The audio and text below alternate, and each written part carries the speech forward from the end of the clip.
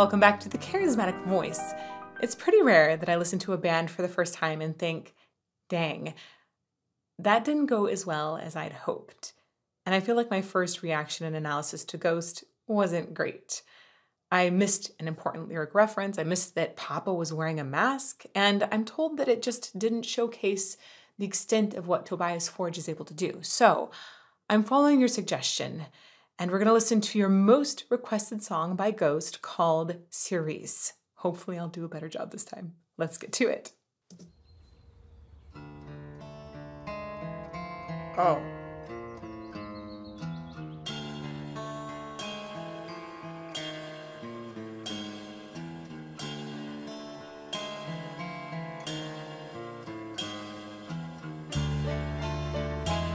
Hurry up, Cirice going to be late. Whoa. This opening riff is so chromatic and has so much dissonance in it. It's spooky. Like, it feels so daring and it's metal while also feeling like it's like coming from a horror film somehow.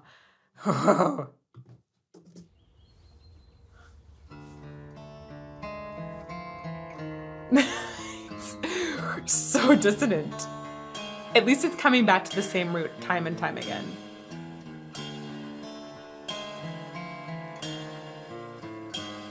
Yikes. Hurry up, Cirice. We're going to be late.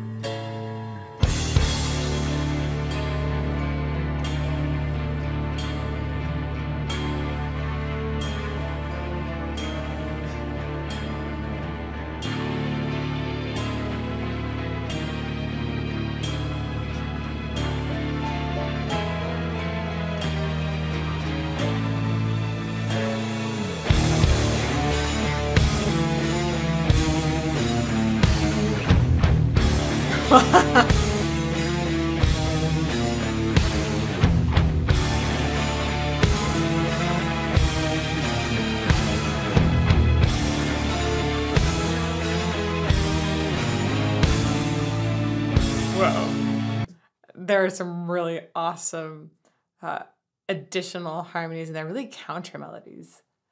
The more I hear that riff, the more it starts to feel normal. And that is one way you can make something that feels super dissonant at first uh, become more catchy. If you just do it over and over and over, that initial shock of dissonance can wear off on us. It is fascinating how they are reinforcing this in so many places. They'll drop it down, really gives extra oomph underneath. Also, that counter melody really worked with it as well. This is, oh, Ah, it's bold.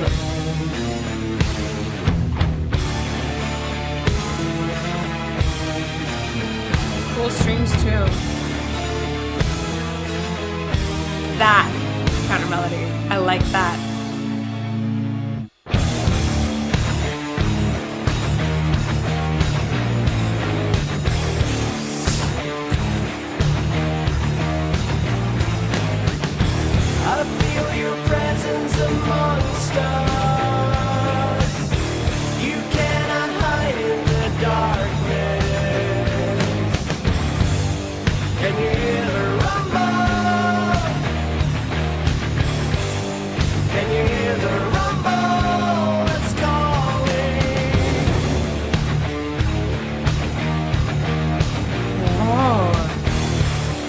This almost feels like a different band to me. Yeah, there's the same look uh, overall. I think this is an earlier version of some of the costumes and characters, but uh, it's so interesting. It feels really dark, like really, I guess gothic is the right word for it. Uh, in Mary on Cross, it felt tongue in cheek, like it, it had a lot of sort of sarcasm and humor. This one feels like we have impending doom about to happen. There is some brightness in the sound, but mostly I'm just feeling this like thud in the lower register. oh, gosh.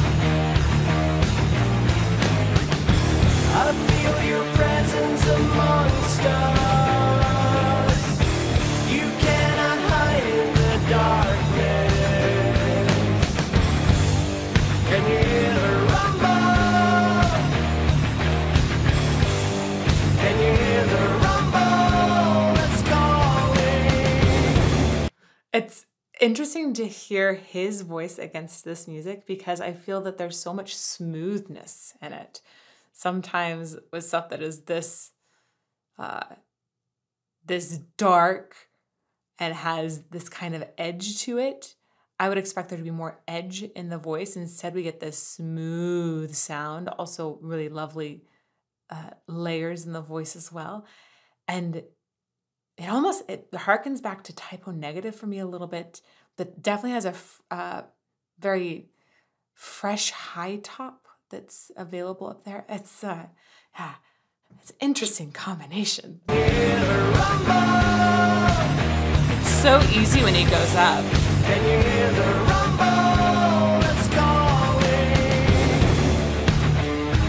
Ugh.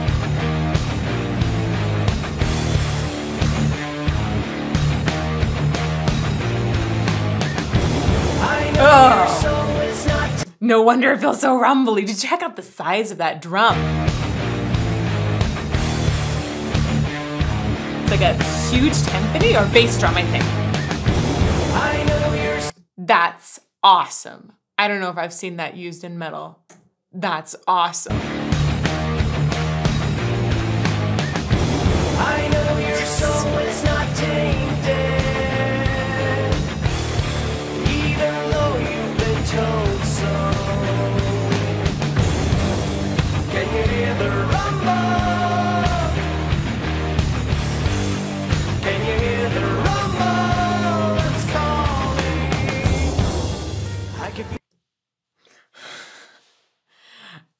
Can you hear the rumble? Can you feel the rumble? I, I feel like that rumble is our uh, our bass drum that is just it, this whole song actually it feels like there's an impeding rumble or impending rumble. I really really like the way the lyrics are uh, also going back to some of those ideas in the music. Ah, this is this is like super delightful right now. Thank you for all of you uh, suggesting this. Thank you, thank you, thank you.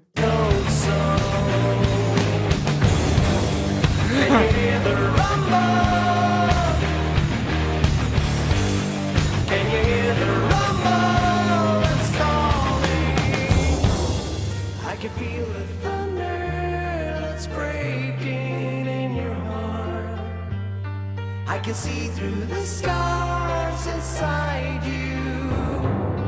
I can feel the thunder that's breaking in your heart. I can see through the scars inside you. Wow.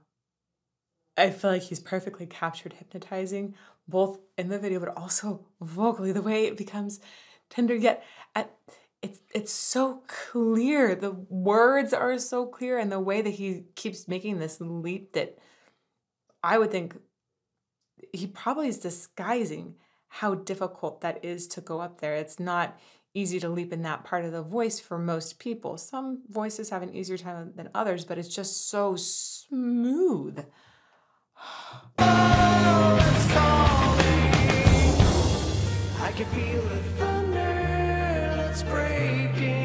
He has so much facility in what kind of tone quality he wants to bring in this area of his voice. Right? There are ways you can compress and have less air coming through, or you can add more air, maybe for a little more tenderness, a feeling of uh, perhaps being a little bit closer when you have that airiness. Can you hear the rumble that's calling? I can feel the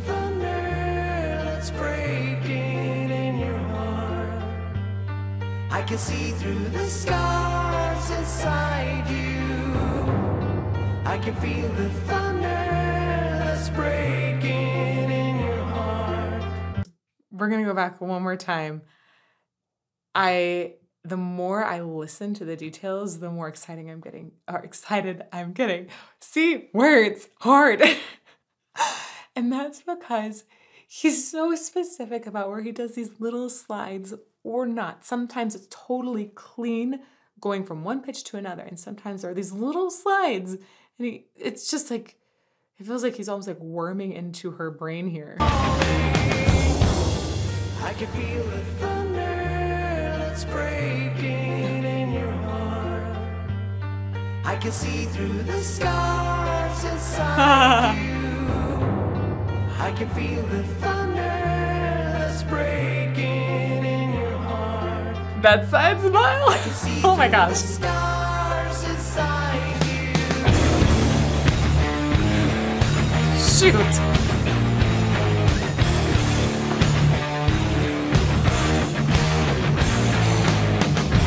A candle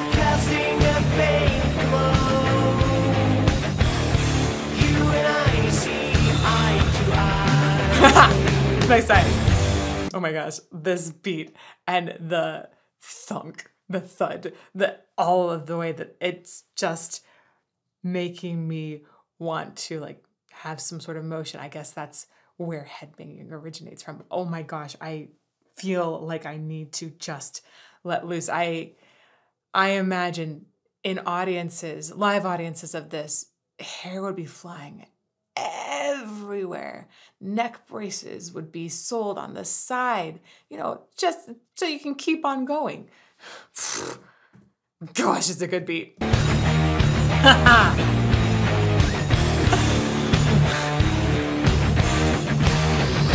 oh my gosh.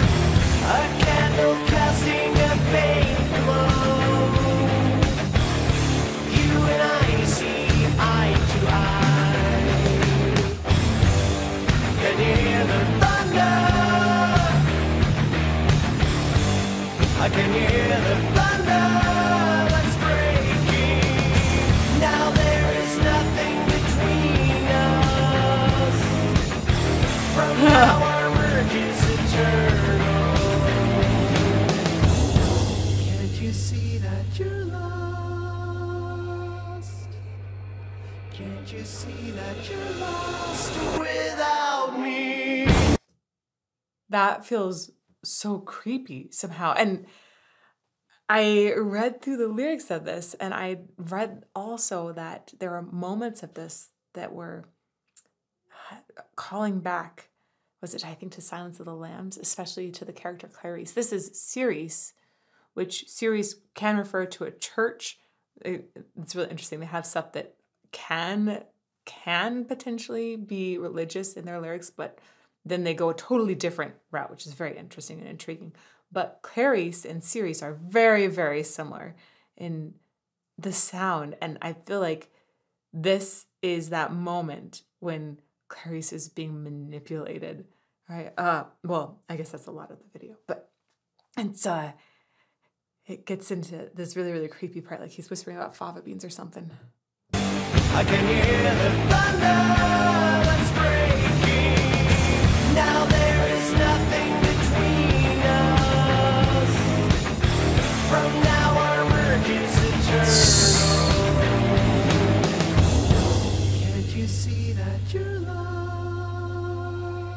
Wow, the dynamic control is Can't you great.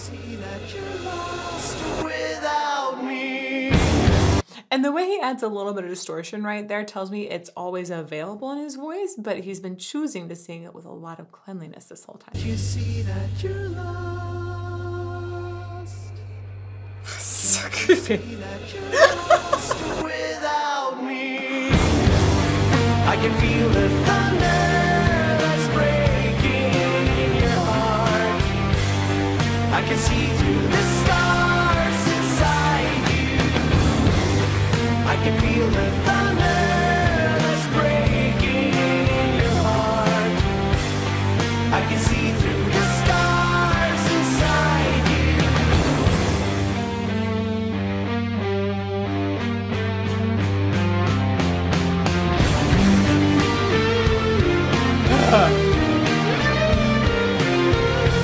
love the way I'm starting to feel more and more lost within different instruments in this whole song. The way they've brought forward one instrument and then pulled it back, and then a different one comes forward. It just feels like like we're sort of being consumed into the song.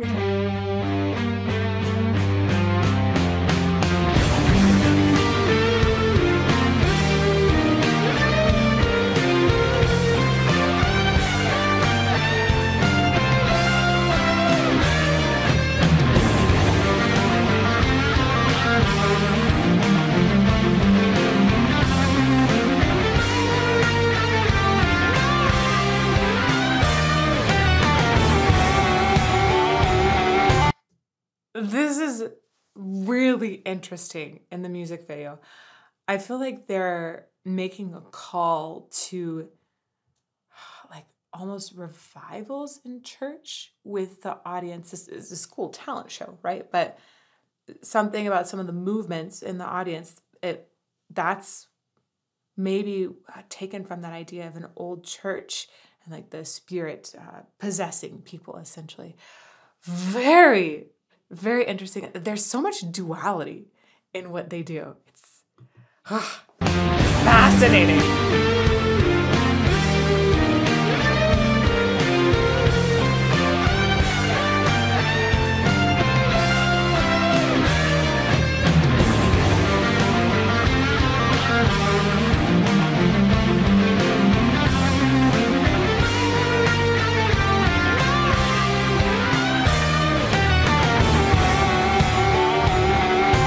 Oh.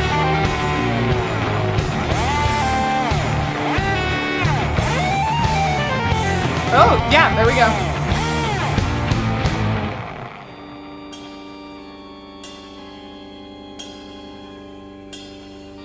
Can't you see that you're lost without me?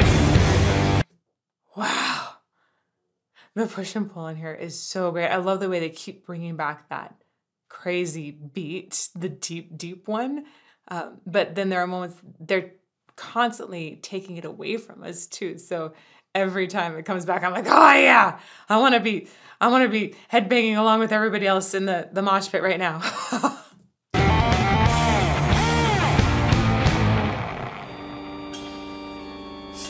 Looks like he's casting a spell. Can't you see that you're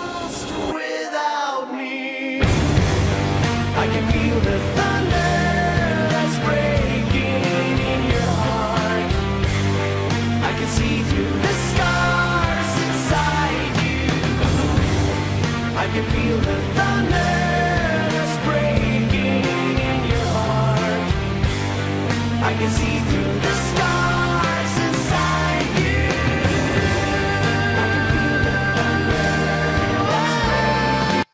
my gosh. Wow, it's like it's like he took over this girl. Like he's controlling, like almost like puppeting her somehow. Or oh that like wow. Um I feel this is very much harkening back to or forward to Stranger Things, right? She's this very much feels like Elle has entered the scene, but maybe it's a slightly evil Elle or one that's being manipulated ultimately, right? Huh.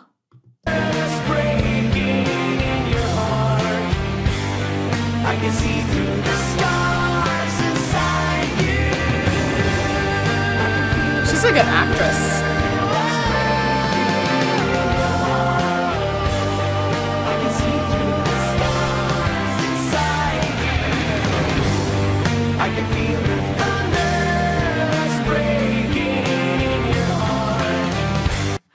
You think about the lyrics over and over and the way they also like loop so much, it does have a sensation of just you feel seen somehow, right? I can feel the thunder that's breaking in your heart. They're they are intimate lyrics. It almost feels like a love song to someone. Uh, and when you see a person like that, or you feel seen, it opens you up, and uh, and it can establish a kind of connection, and it's just it's crazy to me how once that's established in the music video, it it feels like it's twisted. If I were to just read the lyrics on their own, it doesn't feel twisted like it does when I see it in the music video. Huh.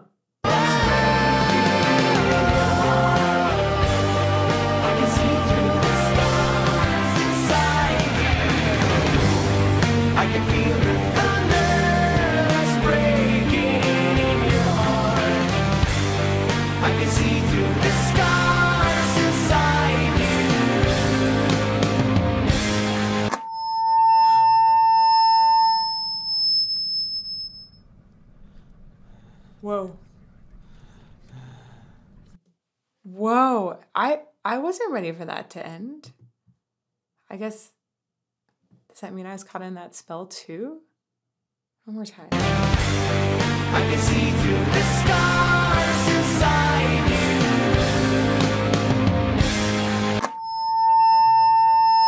Oh, what a terrible sound.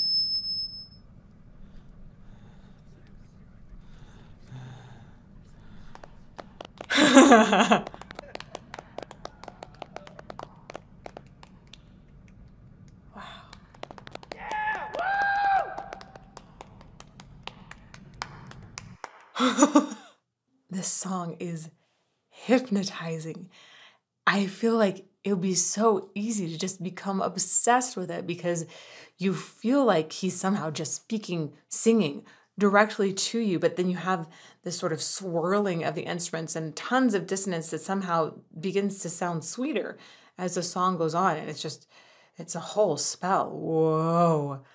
I I feel like it really broke me out of the spell at the end when they pulled the plug on it and I I realized how much I wanted to just keep going and going and going.